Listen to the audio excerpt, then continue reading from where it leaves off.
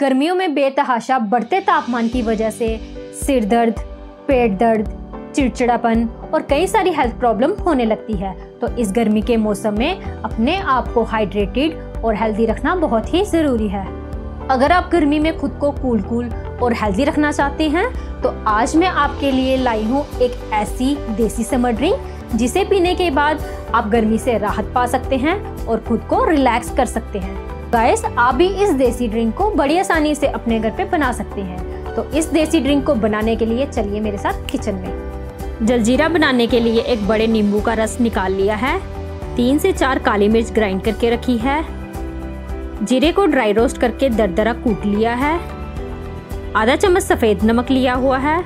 इसे आप स्वाद अनुसार डालेंगे। दो चम्मच चीनी। एक चौथाई चम्मच काला नमक। और लगभग 10 से 15 पुदीने के पत्ते। जलजीरा पानी बनाने के लिए अब हम एक मिक्सर जार लेंगे। अब हम इसमें फ्रेश पुदीने के पत्ते डालेंगे। काली मिर्च। भुने जीरे का पाउडर डालेंगे। नींबू का रस। सफ़ेद नमक।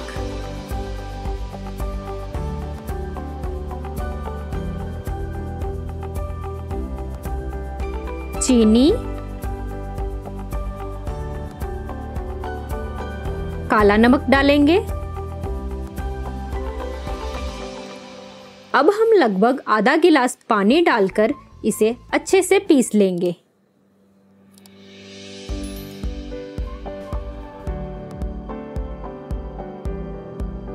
इसको हमने अच्छे से ग्राइंड कर लिया है। बहुत ही बढ़िया खुशबू आ रही है।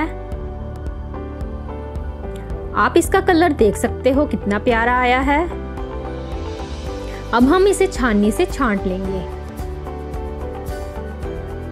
इससे पुदीने के पत्ते या कुछ और मोटी चीज़ रह गई हो तो वो भी बाहर निकल जाएगी। फ्लेवर तो आ ही चुका है।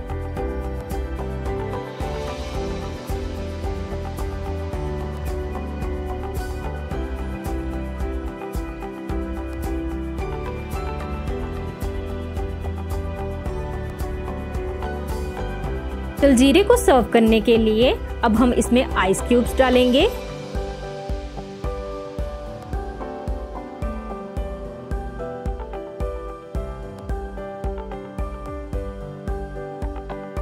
आप इसे गार्निश करने के लिए बूंदी डाल सकते हैं।